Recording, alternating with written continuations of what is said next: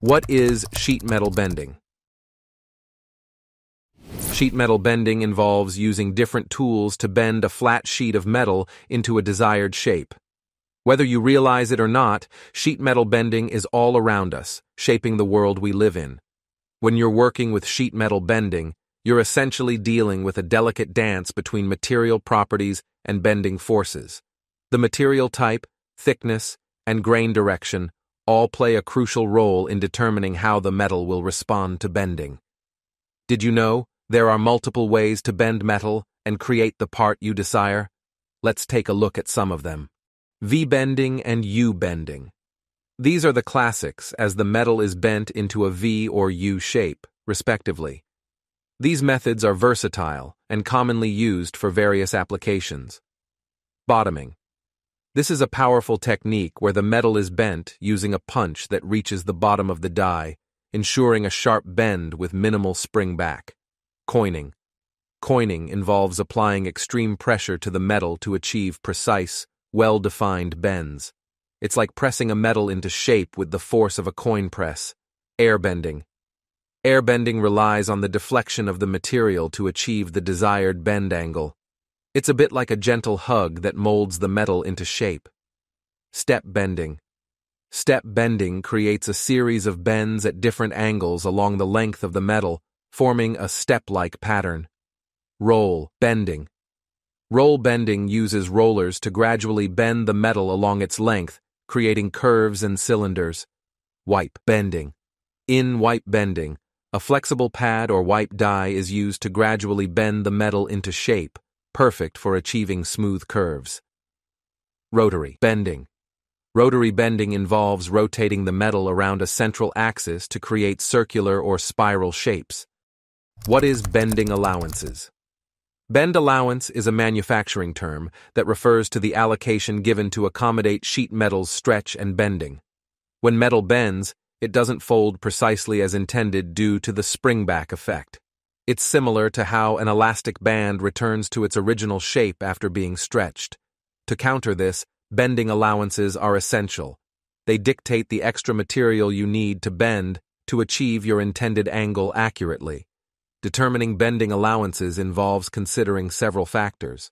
A few of the most important ones are material properties.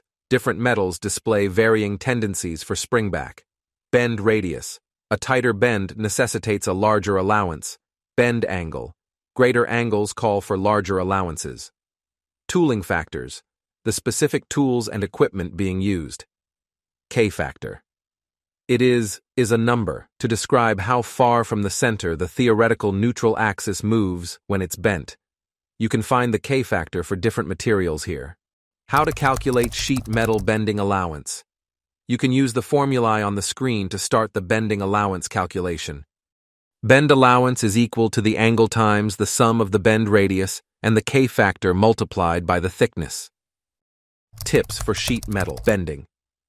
Tip 1. Choose the right tool. Having the right tool is necessary for correct sheet metal operations. Tools like a press brake are simple and widely available, but can have a high impact on overall precision and accuracy. Tip 2. Mine the grain. Bending against the grain can lead to unwanted deformations and cracks. It also affects the durability and may even contribute to increasing the overall micro cracks in your workpiece, which will create another huge problem down the line. So, remember to always go with the flow, quite literally. Tip 3. Go gradual. Sheet metal bending is a time-consuming process that needs a lot of patience and repeated motions. It's important to incrementally make small changes while bending to create a smooth finish. Otherwise, the results won't be pleasing aesthetically and may even have some durability issues as well. Tip 4. Test and iterate. Another important point is to always conduct a test run before starting the process. Each design has its intricacies and may require a different approach. Testing out before will help you ensure smooth processing with little to no delays. Tip 5. Embrace the K factor. The K factor is perhaps the most essential determinant of your part's viability and the results of your bending process. It's a constant that helps you calculate the bend allowances and ensure that the entire process goes as smoothly as planned. Tip 6. Keep the design parameters as simple as possible. The most important tip is to embrace simplicity whenever possible. Start with ensuring uniform thickness in the workpiece, keeping a minimum bend radius, distancing any holes from the bend, or placing the bends next to each other. In conclusion, the metal bending process revolves around precision, accuracy, and finesse.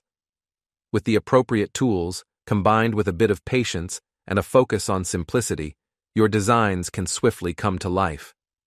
At Rapid Direct, our team of professional sheet metal fabrication engineers specializes in sheet metal bending and other metal fabrication processes. Feel free to reach out to us. If you found this video helpful, please remember to click the like button and subscribe for more insightful manufacturing content.